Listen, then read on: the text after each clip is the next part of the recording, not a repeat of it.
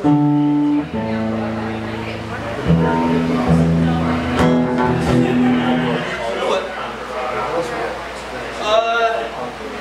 okay, we're gonna do this song. This one's called River Country Girl. This is one of my favorites to play.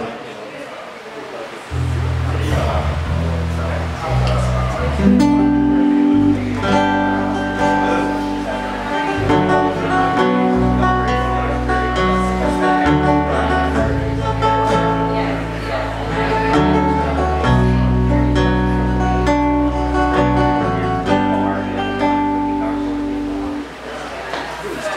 Amen.